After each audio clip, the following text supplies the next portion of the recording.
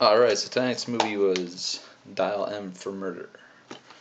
This is an Alfred Hitchcock movie. Came out in 1954. Stars Ray Milland, Grace Kelly, Robert Cummings. Uh, again, with most Alfred Hitchcock movies, you can't say too much without giving the movie away. So I'll try as little as possible to tell you what a fantastic movie this is.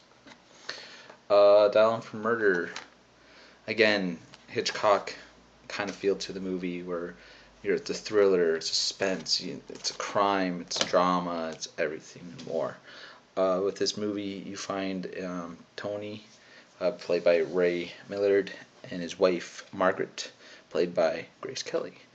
Um, Tony is an old tennis pro who no longer plays, um, and he finds himself kind of dreading lots of things in life. So him and his wife kind of uh, they both make each other the beneficiaries of each other's wills.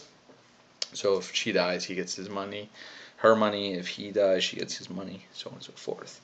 Uh, so he eventually plans to kill his wife, and he tries as best as plans as possible to think of a plan that he thinks in his head is perfect for killing his wife.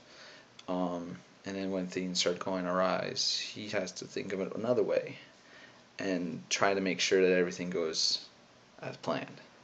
And of course, things always happen that you don't expect to happen. So again, Alfred Hitchcock's style of for Murder, very, very chilling, very keeps you on the edge of your seat, sitting there thinking, what's going to happen next? What is this guy going to plan on doing?